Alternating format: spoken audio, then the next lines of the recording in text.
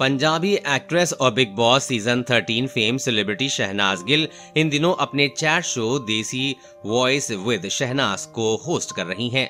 इस शो में शहनाज बड़े बड़े सेलिब्रिटीज से बातें करती नज़र आती हैं। हाल में शहनाज के शो में यूट्यूबर भुवन बाम भी गेस्ट बनकर पहुँचे थे।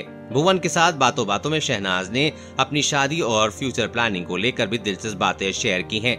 इससे पहले शाहिद कपूर के साथ बातचीत में शहनाज ने बॉयफ्रेंड बनाने की इच्छा ज़ाहिर की थी। बॉयफ्रेंड पाने की जताई इच्छा। भुवन ने जब अपने 15 साल लंबे रिलेशनशिप के बारे में बताया तो शहनाज हैरान रह गईं। फिर एक्ट्रेस भुवन से मज़ाक करती हैं कि क्या आप उस लड़की के प्यार में इतने पागल हैं और क्या अपना यूट्यूब चैनल और सब कुछ उन्हें ट्रांसफ़र कर देंगे? इस सवाल पर भुवन कहते हैं, सब कुछ उसके नाम ही है। भुवन की बात सुन शहनाज रोनी सूरत बनाकर कहती हैं, हमें क्यों नहीं मिलता? है कोई ऐसा। शादी को लेकर यह है शहनाज की प्लानिंग फिर शहनाज ने अपने वेडिंग प्लान शेयर किए।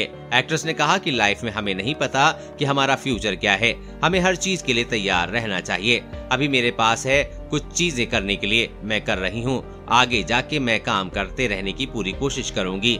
लेकिन अगर मुझे काम नहीं मिल रहा है तो मेरे पास अच्छी सेविंग होनी चाहिए, ताकि मुझे भविष्य में पैसे के लिए दूसरों से भीख न मांगनी पड़े। जाना है लाइफ में, लेकिन मुझे है कि मैं अपनी सेविंग रखूँ। फिर एक्ट्रेस कहती हैं कि खराब फ्यूचर की वजह से मुझे शादी न करनी। मुझे शादी वगैरह में अभी विश्वास नहीं है। मुझे अभी बहुत आगे जाना है लाइफ में। हालाँकि इससे पहले जब शहनाज के शो में Bollywood actor Shahid Kapoor guest बनकर आए थे तो एक्ट्रेस ने कहा था कि उन्हें भाई की नहीं बॉयफ्रेंड की ज़रूरत है।